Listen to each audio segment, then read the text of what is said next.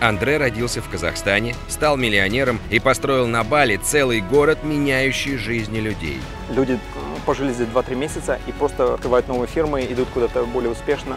Сегодня вы узнаете, что находится внутри и кто живет в городе для избранных, зачем Андре все это придумал и почему миллионер экономит на печи для хамама. Если возможно за 15 минут э, сделать что-то лучше, то не стоит брать то, что э, на рынке.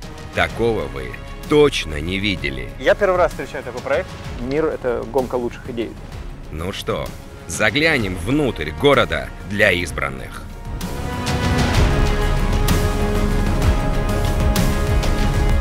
Когда я первый раз приехал на Бали в прошлом году, я со всех сторон слышал Андре, Андре, Андре, какой-то парень Андре, он что-то занимается, строит такой секой.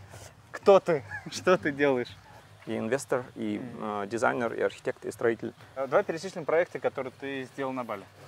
Много, ну, примерно 150 вилл построил. 150 Я- вилл? Да, да. И всё, за последние 12-13 лет э, 150 вилл. В каждой улице в Убуде стоит по 3-4 виллы мои. Ну, несколько ресортов. И, Резорты это что э, такое? Ресорты Как- это а, когда у тебя там да, 20 э, вилл, например, и какие-то там спа-комплексы, ресторан, и йога какие-то павильоны. Идея построить, не, больше не ресорт с 20 виллами, а сделать а, целую часть города. Она уже была давно в наших э, головах между ну, двумя-тремя партнерами, моими коллегами. Примерно в 2019 году мы начали это делать. И да, 9 месяцев спустя мы построили это. В Убуде всегда есть эти две больших группы э, жителей. Это те, которые приехали сюда за здоровьем или за просвещением, и другие за бизнесом. Ну, мы думали, как поначалу даже как-то сделать такое место, где они коллайд, я, где Вот мы сейчас посередине с тобой, да? Да, да, да. Я, но Класс. решили все-таки разделить, чтобы люди могли, э, если, они, если им нужно одно, что на йогу туда, а на бизнес сюда. У нас есть четыре йога-шала, мы построили их, и мы их даем йога-учителям. Любой Бизнес этого. э, йога-преподаватель может там, написать тебе или куда-то Да, вам да, да. и сказать, я хочу здесь провести бесплатное мероприятие, И, где... и каждый день у нас 8-10 часов каких-то йога-занятий, и да, и, я думаю, может быть, три четверти из них бесплатно. Йога-уроки стоят э, в Убуде дороги, дороже, чем в Берлине. Как это может быть? Оказывается, не было помещений. А, И помещения всегда брали там, например, за йога, за час йога-помещение 100 долларов. Сказал, окей, давайте будем брать только э, вообще за бесплатно, либо будем брать какую-то долю от э, успеха от тикета, я, но не нужно брать просто 100 долларов ну, в дверь. Я, so, под- может, там всего один учитель, ученик пришел. Как ему заработать 100 долларов? Класс, класс. Крутой Yeah. Маркс. Я. Людям не нужно машин, не нужно мотобайков, не нужно много ездить э, по городу, не стоять в каких-то пробках, а просто жить. Я, Э, утром можно выйти из своего там лофта или виллы и довести пешком детей в детский садик и э, пойти в офис или пойти на йогу. Какая здесь территория? 4 гектара у нас. э, Четыре я- гектара. за- ну, у нас есть опции на больше. Э, Если мы хотим потом достроить, мы достроим. Какой объем инвестиций на весь проект? И, ну, скажем, больше 20 миллионов э, долларов. Я- Поначалу, когда мы открылись, у нас было всего 24 лофта готовых, и они заселились, и э, у нас появилось просто там 300-500 э, э, ну, клиентов в день. Э, Что будет, когда мы заселим рестораны, Да, да, да, да, да, да, да. Именно что, что будет, когда мы заселим сейчас 150 больше семей. Что меня удивило, ты здесь каждый день. Да. Ты работаешь с утра до вечера. Я вижу, что тебя все время встречи, ты все время в таком движении. Это достаточно редко для Бали. То есть я вижу, что чаще люди там отдыхают, э, не так много работают. Это так? У меня есть своя те- теория на эту тему, что, эм, конечно, когда люди живут в Европе, в России, например, то там есть определенный такой как бы корсет э, общества. Это там папы, мамы, друзья, коллеги э, и так далее, который сдерживает нас и дает нам э, ну, двигаться только в одно направ- направление. Ну, либо вверх, либо вниз, я, но, ну, никуда не в сторону. На Бали эм, этого окружения нету. Я, значит, люди делают, что хотят.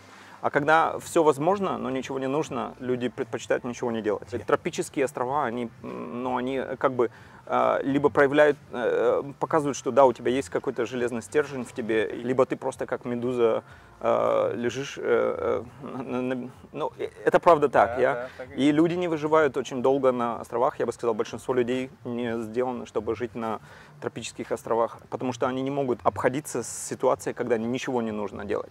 Стараются развлекаться как можно долго, понимают в какой-то момент, что это не смысл жизни, и уезжают, э, покидают этот остров. С другой стороны, если у тебя есть этот железный стержень, и, ты, и у тебя есть, э, тебе не нужно, как бы, чтобы тебя общество направляло, а ты сам знаешь, куда ты хочешь идти, тогда, конечно, э, все острова очень э, хорошая экономическая среда, потому что мало конкуренции, да, все как медузы лежат на пляже. Сколько лет ты на Бали? А, 14 год как э, турист, но примерно 13 лет активно работаю. Ты откуда изначально? Э, Родился в Казахстане, но ребенком уже переехал в Германию и эм, вырос там, а, школу закончил, университет. Я объездил эм, actually весь мир, но как бы на Бали долго не заезжал. Эм, Когда-то в 2007 году продал свою компанию и, эм, и подумал, что нужно отдохнуть просто от э, стресса, и мне нужно было отпуск. Я и решил просто уехать, найти какое-то а, место, где особо хорошо. Я приехал на Бали и понял, мне понадобилось, может, 2-3 дня, чтобы понять, что это очень классное место. И хорошие ну, макроэкономические какие-то э, обстоятельства для компании, хорошая налого, налоговая ситуация, м, хорошая, ну, много таких факторов, которые важны, чтобы где-то остаться, здесь были хорошие. И поэтому так и остались. А давай их перечислим вот эти вот факторы, да, которые ты за 2-3 дня понял, сказал, да, это оно.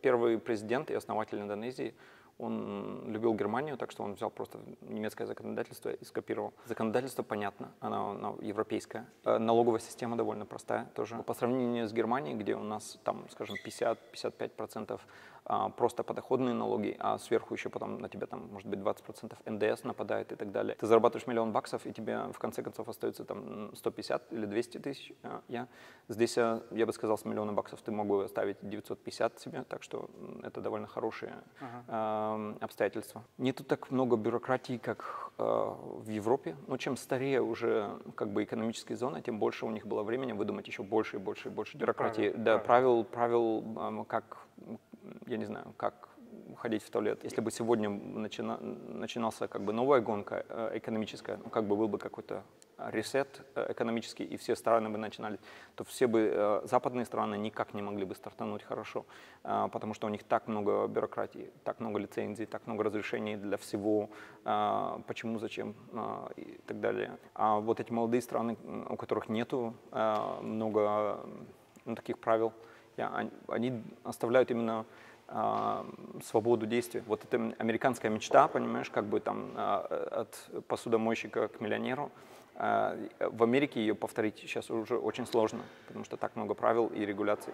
А а в Индонезии это довольно легко. Ну, можно с маленьким количеством денег сделать успешную компанию и быстро добиться успеха. Чем вот здесь могут заниматься люди, у которых может, которые могут добиться успеха? То есть строительство, Да да. чем угодно. Нет, ну строительство даже это сложная тема, но чем угодно. Уровень жизни высокий на, на, на Бали.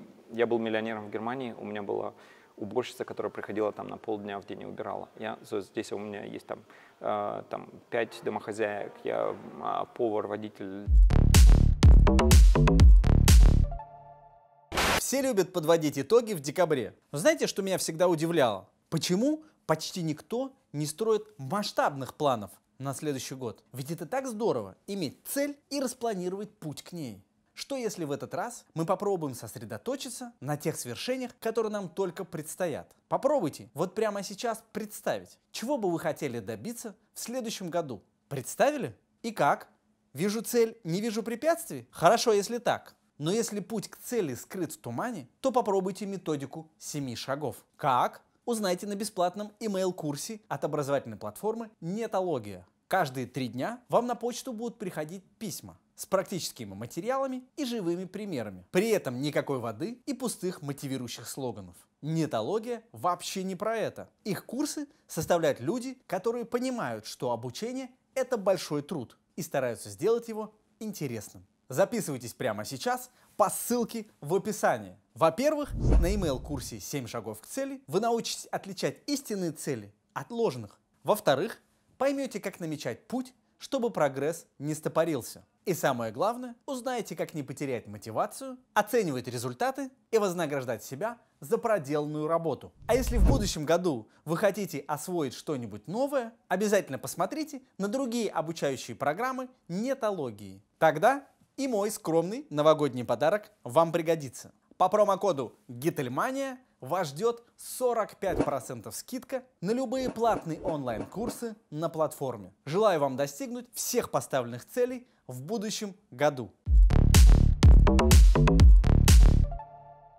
Представь себе, скажем, э, если у тебя есть 10 долларов, то они э, в Москве, они, может быть, оцениваются как 5 долларов а на Бали они ценой в 100 долларов. Ну, примерно допиши ноль ко всем своим а, деньгам. Ну, при, и так примерно ты будешь свой образ жизни м, строить. Если тебе, ты хочешь открыть кафе в Москве, и тебе нужно там, скажем, 300 тысяч долларов, а, то здесь ты мог бы открыть кафе за 10 тысяч долларов. Я, значит, а, даже, значит, в 30 раз дешевле. Я, сколько в Москве конкуренции? Много. А, сколько проблем? Тоже много. Я здесь... А, конкуренции мало, я за проблем тоже мало. Если ты занимаешь у друзей там 300 тысяч баксов, чтобы открыть какое-то маленькое кафе в Москве, и ты сделал ошибку, у тебя второго шанса не будет, может, никогда в жизни. А здесь ты 30 а, кафе а, можешь а. Да, здесь ты можешь попробовать много раз. Я, Да, если 30 раз попробуешь кафе, то Да, очень- я- я очень- думаю- очень- если будешь усердно, но вероятно, Но что через второй, хоть одно третий, второй и третий вариант уже получится, да. да. А, В первую очередь нужно всегда уважать. Чем больше у тебя а, есть денег или успеха, ты уважай еще больше, потому что не нужно никогда быть снобом, который пренебрегает людьми. Например, ты открываешь какое-то кафе, и всем соседям справа, слева, э, спереди говоришь, «А, отвалите все, и я круче вас всех, я умнее, у меня больше денег. Эта информация очень быстро, заразительно распространяется в, этом, в твоем районе, и потом, ну, например, какие-то authorities, э, там, я не знаю, полиция, налоговая инспекция приходят и за неуважение просто тебя закрывает. У них есть такое понятие карма, э, карма, что ты, если, те, которые хорошо поступают, им нельзя вредить, Э, значит, они наоборот будут тебе помогать. Те же самые, та же самая налоговая инспекция будет приходить и объяснить тебе, как, как платить меньше налогов, чтобы и, да. Но здесь нужно только прислушиваться э, и общаться. Э, Балийский массаж 250 рупий. Но это дороже, чем по рынку в среднем. Поверь мне, если ты придешь сейчас, в, там, скажем, в Кампинске или э, здесь в Four Seasons, где массаж стоит э, Там 100 дороже долларов, будет, да. 1,4 миллиона, там очередь, чтобы попасть туда. Объясняю одно из э, главных уроков э, капитализма. В гонке к самой дешевой э, цене э, нету выиграть, э, ну, никто ее может выиграть. Ни компании не могут выиграть, ни клиент не будет э, выигрывать, понимаешь? Потому что э, когда я хочу оптимировать по самую низкую цену, самую э, низкую цену э, может быть такое плохое качество, что клиент уже тоже будет несчастливым. Гонки к самому лучшему качеству, здесь нужно типа, подходящий, подходящий э, Баланс. ценник. И, и здесь, э, и в этом есть вся предпринимательская деятельность. Может быть, одна из самых сложных вещей в предпринимательской деятельности есть ценообразование. Но никто не смотрит на цену, э, люди смотрят на качество, а потом э, создают внутренний ценник и сравнивают внутренний ценник с ценником, который они оплатили. Я заплатил всего 20 долларов за это, а ценой это было 50 для меня. Да? И вот в этом успех. Во Франции это очень часто встречается, что э, и у нас тоже будет меню без цен, просто без цен. Ты приходишь в ресторан э, во Франции, я, да, с, с твоей женой, я, а ты получаешь меню с ценами, она без цен. Потому что ты не хочешь, чтобы она выбирала э, еду по цене. Она, она должна выбирать то, что она хочет. Правильно?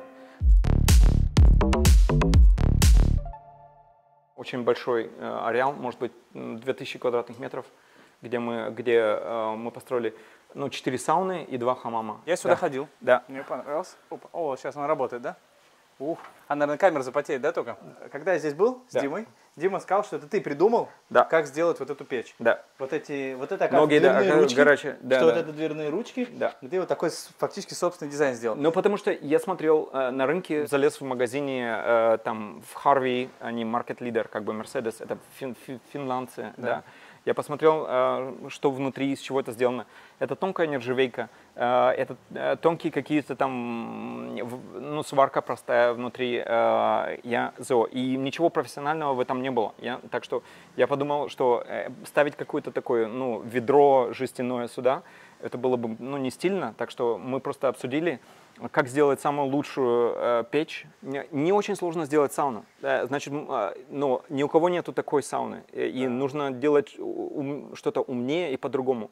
Делать как все, значит, заказывать что-то от Харви, я, ам, это могут все. А, ам, сделать лучше, э, это не все могут. И дизайн гораздо лучше, и даже э, энергоемкость лучше, э, и все. Но мы просто взяли индустриальные какие-то там термометры, э, термодатчики. Всегда стоит э, взять 15 минут и чуть дольше подумать. Если возможно за 15 минут э, сделать что-то лучше, то не стоит брать то, что э, на рынке. Харви продавала нам за 200 долларов э, примерно там кубометр э, лавовых камень, камней. Нам здесь ехать 20 километров до настоящего вулкана, и мы собрали лавовые камни бесплатно. Так что я э, зачем везти э, лавовые камни с, с Финляндии в Индонезию? Да. Это же гораздо проще. Я вот что хочу понять, когда ты, ты делаешь большой здесь проект, Да. здесь большая территория, и спа, и фитнес, и коворкинг, и рестораны, и невероятное количество деталей, невероятное Да. количество деталей. И э, кажется, с точки зрения управления, что надо вот выбирать какие-то главные вещи, на них фокусироваться, а ты лично выбираешь ручки, Потому э, что ка- дверные для того, чтобы Да. поставить э, Каждый под день, печь. каждый день есть у тебя другое ударение. Ты можешь каждый день обращать новое внимание на новую вещь. Как бы, ну, представь себе, это как будто ты а, большой проект, это как поезд, который едет а, по рельсам, и ты знаешь, мы всегда знаем, это мы строим первым, это мы строим вторым, третьим и так далее. Я, и вот очень важно никогда не терять интерес, смотреть в окна, и в этот, тогда в какой-то день ты проезжаешь сауну, и у тебя есть внимание именно посмотреть на все детали э, и выдумать дизайн. Логично весь дизайн, эти там а, тоже а, мед- бронзовые, бронзовые, да, эти бляхи, это для, как бы такой lucky charm. Это тоже на, ты на выбирал счастье. каждую? Ну, конечно. Я И за- вот эти деревяшки тоже Всё, выбирал. всё. Ну, и весь вот это- дизайн, И, всё. и вот, и вот эти каждый кирпичик тоже ты выбирал. И да, лампы ты выбирал. Да, да, ну логично, весь дизайн, как бы, да. Часто э, мы покупаем какие-то э, декорные моменты, мы покупаем гораздо раньше перед проектом. Ты невозможно купить их в то время, когда ты строишь. Значит, у меня есть склад с вещами, э, где мы покупаем вещи. И э, здесь я просто, тебе нужно пон- понимать, какие у тебя игрушки есть. И значит, вот у нас было, например, 5 таких черных ламп, и вот было именно точное количество вот этих вот э, зеркал. И мы такие, окей, like, вот, значит, они здесь сюда принадлежат. И этот бар или вот эти вот стены сделан, э, э, сделаны все с, эм, с поддонов. Это есть японская э, техника, когда ты просто ну, г- огнеметом э, прожигаешь со всех сторон. Э, Это делается для того, чтобы термиты не ели. Ну, термитам горько, если он жженый. И вот, и потом мы просто обожгли вот эти вот все европоддоны, э, разобрали их на запчасти и сделали очень прикольный бар. Это выглядит Да. как Лада или, ну, Да, э, да. если ты, ты знаешь. Достаточно дорого выглядит. Да, не, прикольно, и мы это используем потом. а, Это поддоны из-под мрамора. Да, да, да, да. То есть вот эти там Да, самый лучший материал, ты, который тебе дали за бесплатно, да. Это будет русская баня, она самая такая интересная. Ух Она ты. висит над э, рекой. Ух ты. И, ну, будет, будет прикольно. Давай зайдем. Чё, Да. Стройка, стройка, тоже кадр. Можно, можно. Это на пути в русскую баню. Я за, как бы мы сделали специально ее, э, ну как бы таким низким на выход. Э, там будет стоять печь и эм, Пар туда а, будет да, да, чтобы горячий воздух шел туда, а именно когда ты дверь открываешь, не уходит. И когда я выдумал эту систему, как бы вот, ну как бы такого потолка, я подумал, почему не все русские бани так построены? Потому что actually, если ну, потолок ровный, то а, воздух выходит. Я подумал, если это русская баня, то ее нужно всю емкость нужно а, купить огромных деревянных медведей и подвешать, э, ну заполнить пространство русской бани полностью медведями что ты заходишь в русскую баню, и в первую очередь ты видишь, что там уже 30 медведей стоят, чтобы уменьшить емкость воздуха, понимаешь? Это, было мое решение. Но потом я выдумал этот клин, э, крышу, и сказал, окей, это тоже сойдет. Но идея с медведями мне все еще нравится. Класс. Я- А скажи, пожалуйста, когда все закончится? То есть, когда Нет, во- этим уже пользуются сейчас. э, это, вот это хама- хамам, это хамам, я такими Тоже мы уже включали. работу тоже ты выбирал? А, Да, да, конечно. Э, Когда закончится, имеется в виду, уже будет все завершенность полная. Э, Понимаешь, проект, если честно, два года или три года спустя, когда э, я уже все построю и будут же люди жить, может быть, два года спустя я дам окей, что он теперь построен. Потому что конкретно, ну, как бы, одно дело это быстро. Вот все, что ты сейчас видишь, это быстро. Да. А, а, это быстро, ну, примерно как с бедра выстрелить, да? А, а по-настоящему... эм, э, по- Окей, еще докручивать какие-то детали. Да, да, докручивать детали. Смотри, такой интересный вопрос. Э, Здесь распространено не покупать землю, а брать э, в аренду там, на 25-50 лет. Так оно есть, я. Вот ваша земля здесь, она в аренду? Она в аренде. Но у На нас есть, лет? у нас есть опция, а, а, сейчас на 32 года, но у нас есть опция выкупить всю землю. А, Навсегда? Ну, да, да, да. А, окей. У нас э, дома живут примерно 30 лет. Я за, за- значит, за через 30 лет люди уже говорят, ну, нужно капитальный ремонт, либо сорвать, построить что-то новое и так далее. Значит, привязываться к себя к чему-то дольше, это одно дело. Потом, а, ну, как бы я строю примерно сейчас здесь, что а, эти здания будут стоять примерно а, 50-60 лет. Не нужно планировать на 100 лет, ты не будешь жить 100 лет, я. А, и, Хотелось ну, бы. Не, ну если ты, ну я имею в виду... ну, Я понимаю, да. э, Я, ну, а, я всегда так строю, что э, моим детям для пенсии хватает. Если ты не уверен в экономике проекта, не начинай проекты. Я, ну, логично, ты, ты уверен. А, в этом и есть прикол а, ну, жизненного опыта или бизнес-опыта. Ты должен, ты всегда знаешь. Если ты не знаешь, ну, скажем, окей, ты стоишь сейчас на мосту, и тебе говорят люди, прыгай, прыгай, прыгай э, с моста, like, э, а ты не знаешь, как глубина, какая глубина. А, тогда лучше не прыгай, да? А, so, а, э, а опыт э, э, имения, там, я не знаю, 50 или 100 компаний в том, что ты знаешь, какая глубина, понимаешь? И то, то, что ты можешь уверенно прыгать там, где другие не прыгают. Или наоборот, ты отбираешь места, когда нужно прыгать, когда нет. Когда точно 100% выигрываешь, тогда прыгаешь. Окей. Э, к- как, здесь с точки зрения экономики? Сколько лет ты закладываешь на окупаемость? А, окупаемость она очень хорошая, ну, меньше пяти лет. На все инвестиции? На все инвестиции. Ну, логично, да, да. Интересно. А я первый раз встречаю такой проект, Почему? когда одновременно на такой территории есть все. Основное, что нужно для жизни. Есть такие еще проекты в мире? Принцип gated community, который есть ну, в Америке, где они строят как бы там какой-то поселок. А, в центре есть несколько ресторанов, там голф-клуб, а, эм, а, магазины, а, детские сады и так далее. И а, вокруг там тысяча домов. Это ну, gated community. Просто часто эти gated community просто закрыты для паблик. Ты- Кто-то, кто не имеет дома в этом именно на этом, а, в этом городе не может сюда приходить. Поселок такой. Да, это закрытые поселки, как бы. Они принципиально есть и у вас в Москве, но я не знаю, насколько у них там есть магазины и рестораны, которые available, ну, открыты для паблик Да. трафик. У нас есть все равно опция тоже закрыться э, в какой-то момент, если нам будет хватать э, своего трафика. Сейчас мы э, сделали это в, этом, в открытом где публике можно приходить и пользоваться этим. Принципиально, может быть, есть разница э, между нами и другими э, такими поселками, потому что есть э, обычно во всех этих поселках, в первую очередь, они хотят просто получить деньги за купленный дом. Я? Да. Мы стараемся не продавать ничего, мы хотим сдавать все в аренду. А, Из-за того, что мы хотим контролировать, кто здесь живет. Если мы продали кому-то, мы бы потеряли контроль, э, кто будет жить. А здесь э, мы хотим иметь какой-то community guideline, Да. я, значит, э, есть э, какой-то договор социальный, который люди, все, которые въезжают, подписывают, что значит там ты, ты не можешь дебоширить, там не можешь бить жену лицом об стенку, э, я не знаю, и громкую музыку гонять там и так далее. Но просто не мешай людям жить, я, Да. So, и, ну, живи достойной жизнью, и тогда, окей, все будет хорошо. Э, Интересный аспект нашего проекта будет, что какая-то часть эм, э, ну, э, жилых единиц будет даваться как гранты э, за бесплатно эм, ну, артистам или интересным личностям, которые будут а, ну, тянуть по себе э, именно сам проект. Я, ну, понимаешь, как бы культурный отпечаток проек- проекта будет расти. Вот там, это же опасно. А что Туда могут свалиться дети. Нет, ну, если ты видишь, мы построили везде уже, эм, вот там, где деревья растут, там всего метр падать. Я.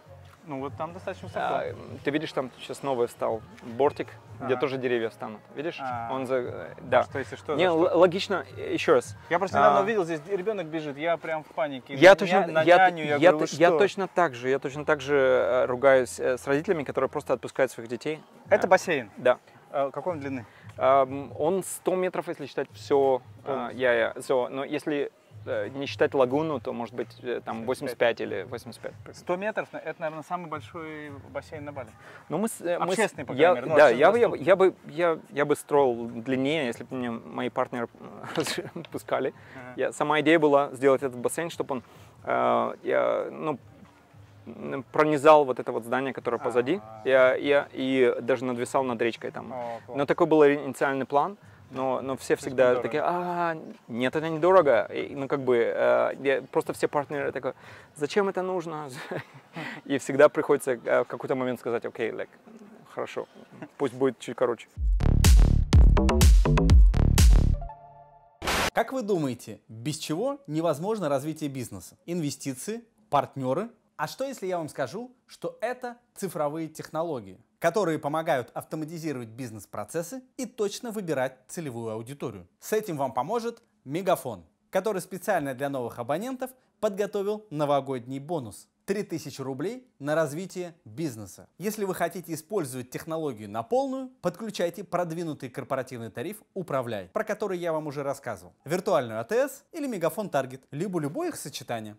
Виртуальная АТС – это единый многоканальный номер. Он помогает распределять вызовы, анализировать звонки и интегрировать телефонию в свою CRM-систему. А Мегафон Таргет помогает находить релевантную аудиторию и проводить успешные таргетированные рекламные кампании.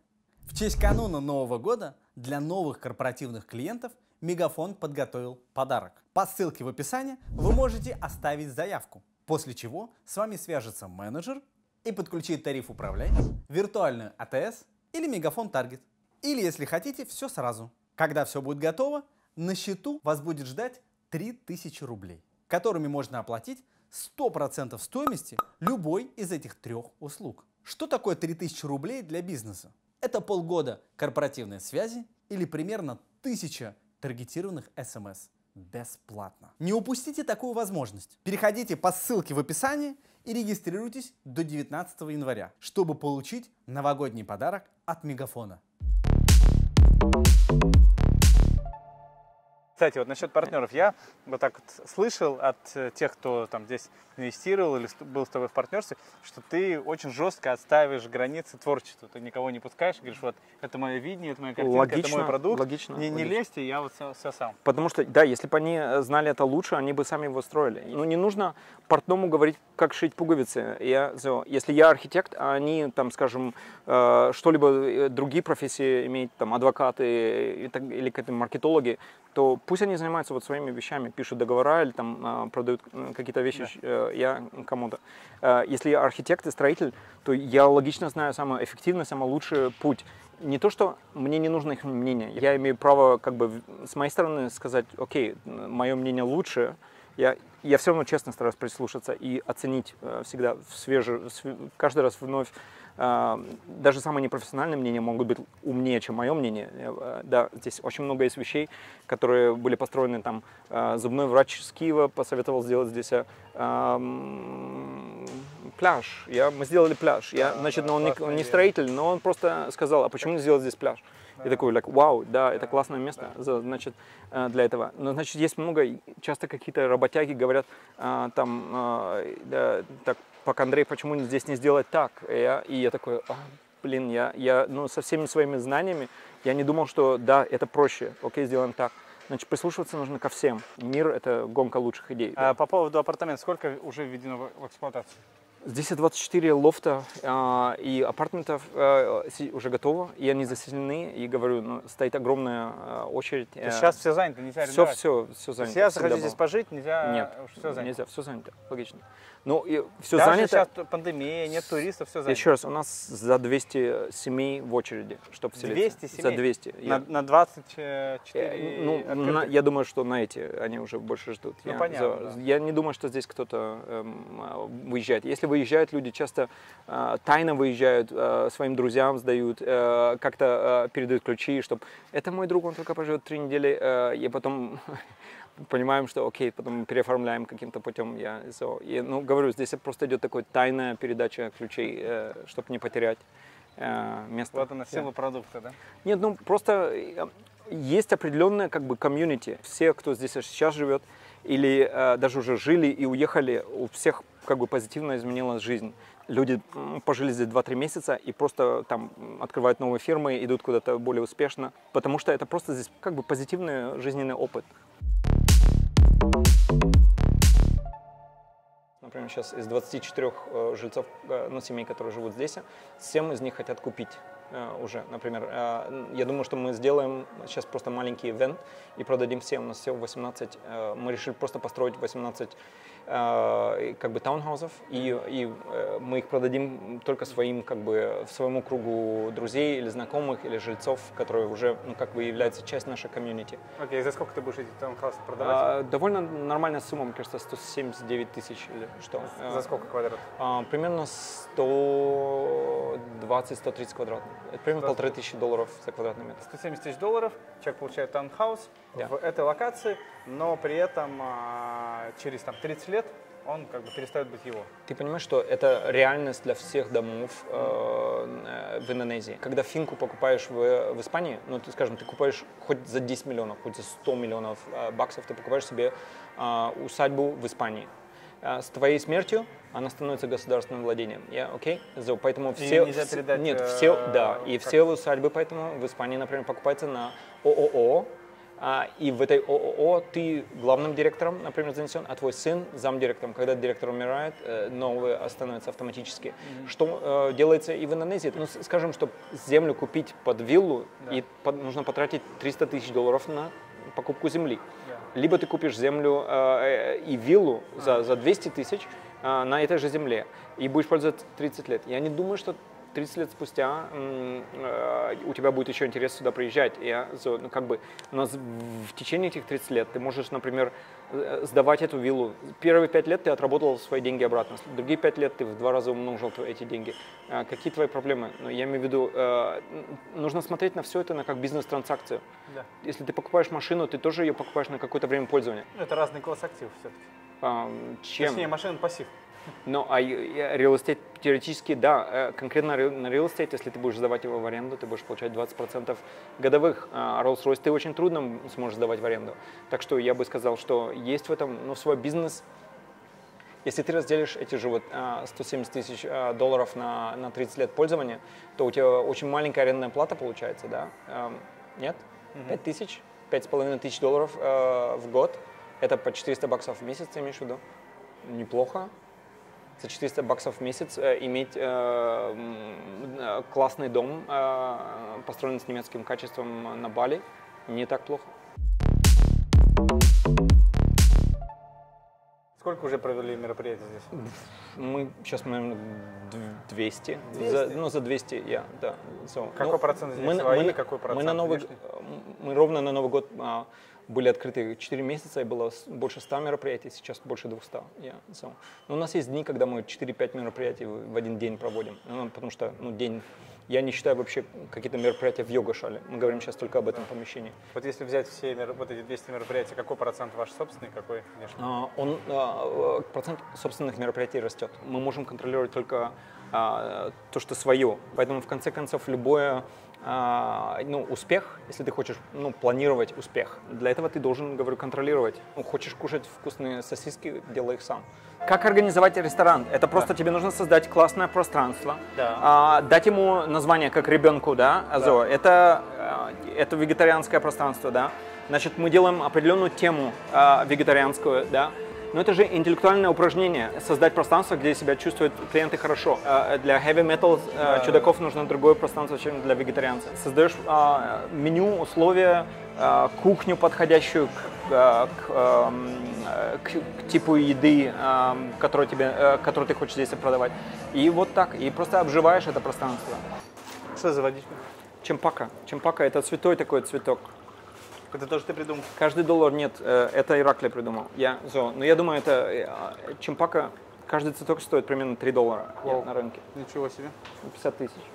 Я сейчас выпью где-то Ну, ну, по- попробуй просто, это очень, оно получается ароматизировано, и это очень полезно. Это тут м, А. цветок, с чего делается? Сюда можно, да, э? С чего делается Шанель номер 5. Да? С этого цветка, да. Ничего себе.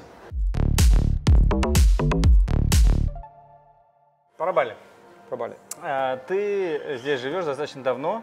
А, Сейчас ты здесь занимаешься этим проектом. Сколько он еще займет лет? Э, там, Этот год мы достроим, я думаю. В этом году Да, да. достроите.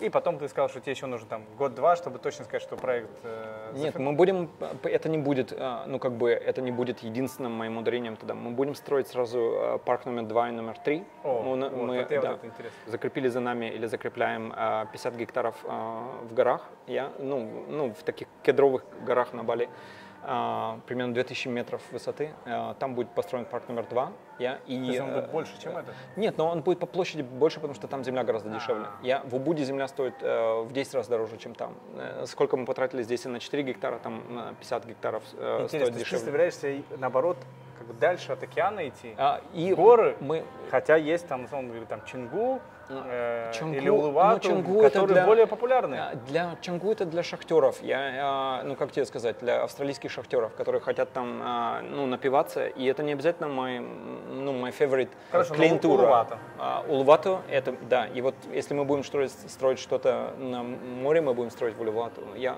у меня уже есть пол гектара, нужно просто чуть-чуть докупить, может быть, до полтора гектара там, и, а, и тогда будет хорошо. И Улувату гораздо более мой вайб, ну, говорю, это как бы серф, хороший views, свежий воздух, а, и, да, нету пьяных шахтеров, да. Окей, то есть ты будешь строить второй, третий парк, да. И, и на этом будешь останавливаться, или Поч- ты хочешь... под- э, э, сама идея, э, сама идея, почему, почему мы строим что-либо, не для того, чтобы было больше, Да. а чтобы дать э, мобильность э, нашим жителям. Значит, если ты живешь в Убуде, то ты можешь потом, э, ну, в полном неорганизованном, хаотичном, анархотическом порядке своппинг апартменты с кем-то. Ну, сейчас ты хочешь пожить два месяца в, в горах, я, то у нас будет какая-то платформа, где люди могут ставить заявки и хочу поменять квартиру в этом месте на это место, и чтобы люди сами между собой договаривались и мобильность а, была. Ну, как бы сама, а, сама, а, само название недвижимость это и, иммобильяры, я, значит, не мобильность, Да, не мобильность. Мы хотим добавить мобильность в слово э, им- э, и мобильность, я. Класс. So, и дать людям чуть-чуть свободу, потому что это было бы а, настоящее качество жизни, когда ты мог бы пожить а, там два месяца на море, и а, потом пожить где-то, говорю, в зеленых наших лугах, и потом пожить в горах. У тебя такое, знаешь, удивительное сочетание двух вещей, которые редко встречаются. С одной стороны, глубо- высокая концентрация на очень там, небольших деталях, типа ручка от э, печки. А с другой стороны, ты видишь картину в целом.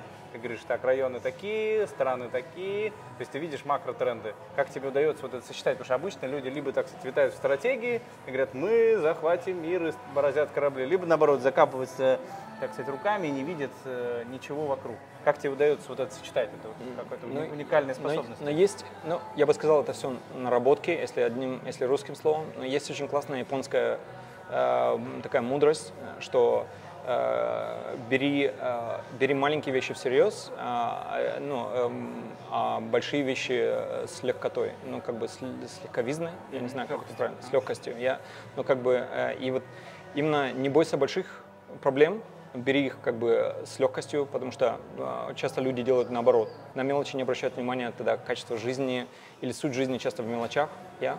А, а большие вещи, которые, может быть, мы там боремся против каких-то там, как Дон Кихот, против каких-то э, там драконов и монстров, а они, может быть, несерьезные. Либо мы чуть-чуть много боимся, что они нам как бы м, э, ну, портят жизнь. А, а в принципе это отдаленные большие проблемы или большие задачи, это часто отдаленные задачи, и они не близкие. А когда ты когда дракон так близко, что ты видишь чешую, тогда стоит обратить внимание как э, на мелочи. Э, вот то, где мы сейчас находимся, это что такое? Вот а, это, это коворкинг? Это, это, это будет, да, open, э, open air coworking. Я, одни хотят сидеть за кондиционером, и чтобы было уд- удобно и это. А э, другая такая радикальная фракция говорит, что ну нафиг я уехал э, из откуда-то с родины, чтобы не сидеть в офисах. Я, значит, именно нужно людям и это, и это как бы пространство. Две климатические зоны это как минимум. А, я, и это пользуется успехом, потому что люди, есть фанаты этой зоны, и есть фанаты сидеть внутри. Как ты вот это понимаешь, что нужно клиенту? Нет, но и- я, ну, э, обращать внимание э, к деталям. Нужно всегда, всегда обращать внимание к деталям. Если ты любишь детали, то все из деталей, э, с- с- из многого количества деталей, общие сложные концепты очень легко понимаются. Ну, скажем, если ты никогда не, не потратил э, внимание, э, чтобы понять, как работает гайка, то тебе наверняка невозможно будет когда-либо построить там велосипед. Если ты спросишь сегодня взрослого человека, как работает там мотор внутреннего сгорания, или, э, все люди такие, «А, окей, я, я- всё». А это, например, интересно знать. Если очень знаешь? часто, да, ну логично я знаю, но я имею в виду, я знаю, как атомный реактор работает, потому что мне интересно. Мне интересно знать, как. э, Я, so. А, э, а, Но я имею в виду, это же часть общего понятия мира. Если ты понимаешь мир, эм, если ты понимаешь мир в его э, частях, то ты понимаешь его лучше в целом.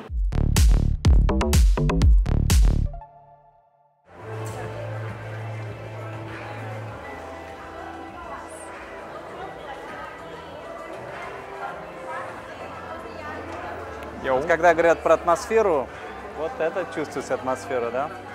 Люди все что-то делают, создают одежду, создают какие-то, как это называется, ювелирные украшения, бижутерия.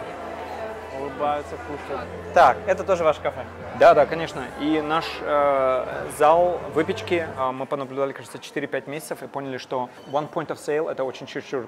Э, получались здесь э, очереди там в 100 человек э, при ивентах. Потом э, мы решили просто отделить э, кофе ребят. Но просто нужно всегда никогда не бояться осознать ошибки. Ну, скажем, у тебя год назад была классная идея. Если бы ты никогда не переспрашивал эту идею, она все еще самая лучшая. Ты же теперь еще год старше, у тебя год больше опыта, и поэтому нужно всегда, говорю, никогда не бояться а, собственные даже идеи а, контролировать. Лучше ты найдешь ошибку и ее исправишь перед тем, как рынок или твои конкуренты найдут и исправят эту ошибку, потому что тогда а, это очень часто одна из част- самых частых а, проблем в предпринимательстве, что ам, да, а, люди а, поняли какую-то проблему, нашли о ней решение и, э, и очень довольны этим решением. И никогда больше не улучшают это решение. А вот здесь э, ничего нету э, постоянного, все временно, особенно в экономике. Я, и здесь нужно дальше и дальше и дальше э, двигаться и, говорю, не лениться. А, а это вот зона здесь как, такие малые мероприятия. Да, да, это, это маленькая сцена, э, я, у нас есть большая сцена, и мы делаем сейчас огромный э, конференцный зал на 600 э, 800 человек. Оу. Э, Но он уже построен, actually. Мы там были. Это принципиально не коворкинг, это как бы э, это часть кафе, Да. которая является free coworking. Я, Значит, если ты э, что-либо покупаешь, пользуешься как бы услугами кафе, Да. то здесь можно сидеть за бесплатно. У нас есть точно такой же этаж сверху дублирован, а, как более профессиональный коворкинг, но из-за ковида мы его не открыли. Сейчас там просто школа, а, ну как бы primary или middle school мы А впустили. будет именно коворкинг уже Да, будет, входом, да? но там ничего не нужно как бы покупать или чем-то пользоваться, э, кроме ты просто находишь себе свое любимое эм, место, ну как бы работы и просто оккупируешь его и сидишь. Hello guys. Nice to see you. Yeah, yeah. Что это, что это за люди? Um, also, ну, эм, это э, два классных дизайнера. Also, интересная, интересная мода, интересные фасоны, интересные, ну, как бы, они занимаются кожей в основном, дорогие какие-то кожаные сумки, кожаные какие-то э, там, ну, кожаная мода. Yeah. Ну, прикольно. Супер. А, что вот интересно, э, когда я был на Бали, здесь сложилось ощущение, что очень разрозненная аудитория. Там, Здесь, как ты говоришь, э, шахтеры, тут приехали, уехали. И ты берешь и делаешь проект, в котором самый большой конференц-зал, самый большой бассейн, наверное, самый большой, может быть, точно будет один из самых современных э, спортзалов. И вроде бы кажется, что классно, делай лучше всех и будет востребовано. Но, э, например, как ты решился, что зал должен быть именно на 800 человек, на 600, а не на 5000, а не на 200, учитывая, что здесь как вроде бы нет спроса на...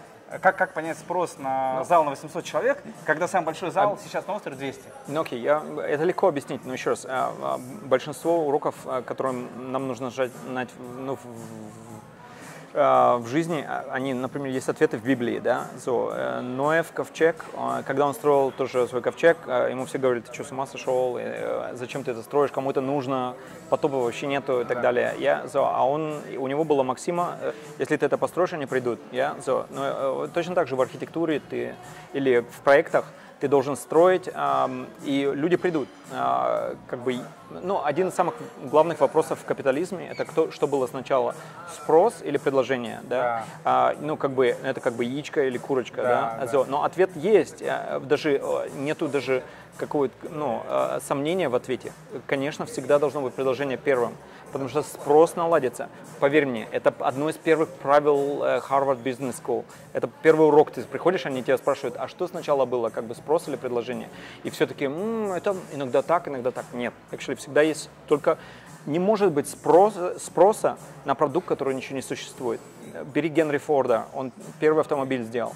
Какой был спрос на автомобили тогда? Ну, не ну, было, но ну, никогда там не был было. спрос на определенную потребность. Да, Да, да, там а- передвигаться и так далее. Может, я, конечно, не жил в те Да, времена, но- не знаю, но- но, была очень понятная Я- я потребность ч- передвигаться. Я читал его мемуар, actually, э, и он написал э, что же, что э, какой прикол, если бы он спрашивал клиентов в то время, делал опросы клиентов, то они бы сказали, сделай нам быстрее лошадей. Да. Они даже не думали о другом виде продуктов транспортации. Да? Как понять, А. какое предложение сделать, чтобы оно в итоге оказалось востребованным? Здесь- Потому что здесь много, ты- можно, давай сейчас, сейчас вот кто-нибудь послушает, скажет, а я тогда приеду на Бали и построю конференц-зал на 10 тысяч человек. Да. Нет. И вряд ли... э, Судьей рынок всегда являешься ты, первым. Но тот, кто строит, но мог построить а, надувную лодку, да, маленькую, либо мог построить, говорю, так, чтобы в каждой твари по, по паре залезла, да. Тот, кто создатель, он и создает определенные рамки, ну, игры, да, правила игры. Э, Вот это важная Как часть. угадать, какое да. предложение А, э, потом и здесь, э, и, здесь, спрос? и здесь мы надеемся, э, всегда надеемся, можем полагаться только на наш интеллект. Если бы я делал, опять же, опросы, мне бы сказали люди, ну, строй там в Нузадуа, я, или строй бы где-нибудь в Чангу и так далее. А я думал, что э, в, Убуде самое большое количество семей и экспатов живет длительно.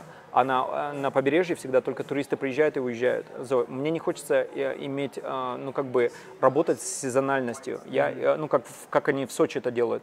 Они берут на работу людей на 3-4 месяца, а потом всех увольняют. Да. И потом следующий сезон опять берут на работу и всех Ну, увольняют. да, это Да. пандемия была. Сейчас, Да, конечно, другая ситуация. но Ну, я да. имею, я имею в виду, да. Но сезональность это яд для доходов или как бы для постоянных, ну, как бы экономического успеха. Потому что строить что-то для туристов, да, ну, зачем это нужно?